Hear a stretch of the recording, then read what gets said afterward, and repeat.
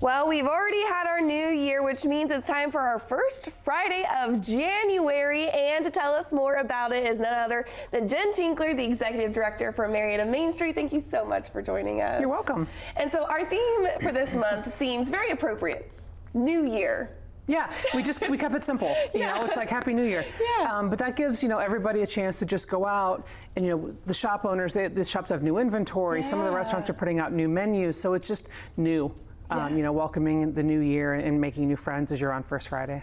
And I feel like New Year, the New Year's, you know, January is a time for kind of a fresh start for a lot of things as well. And maybe people are going to be cleaning out their closets or getting rid of things, so they might need some some new things Yeah. from from Main Street. Uh, yes, I, I agree. Um, there's, you know, a lot of the shops are having some specials on. You know, you have the, you know, the after Christmas specials, Mm-hmm. but you know, they're all starting to get in the new inventory. Uh-huh. And so I was walking around the other day, and there's there's a lot of nice stuff coming out. So it's it's nice. That's so exciting. And so, what are some things that people will be able to expect if they come to this First Friday?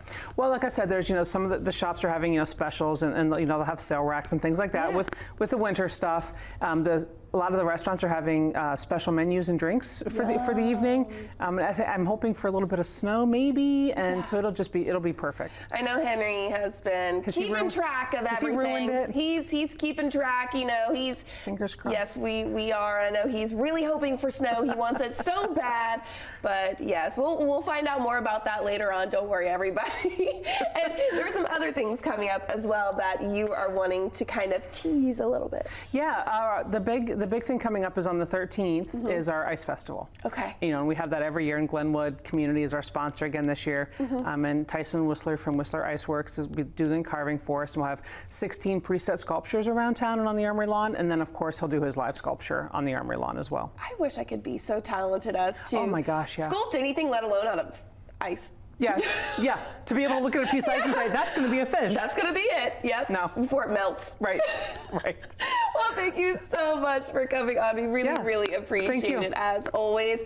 And one more time, I know we know it's tonight, but where, when is it all going to be happening? Tonight, Friday night, downtown Marietta, five to nine. Perfect. We'll have all that information in our online article in just a little bit, so you can head over there and get that. But as we promised, Henry's going to have another look at that forecast when we come back.